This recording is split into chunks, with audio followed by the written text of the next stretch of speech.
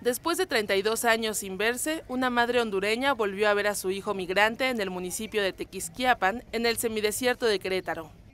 La caravana de madres centroamericanas pasó este sábado por la entidad y en Tequisquiapan se dio el emotivo reencuentro entre la familia de origen hondureño. La caravana de madres centroamericanas cumple 15 años de buscar pistas para dar con el paradero de sus hijos que desaparecieron en el territorio mexicano. Al momento se encuentra en camino a San Luis Potosí.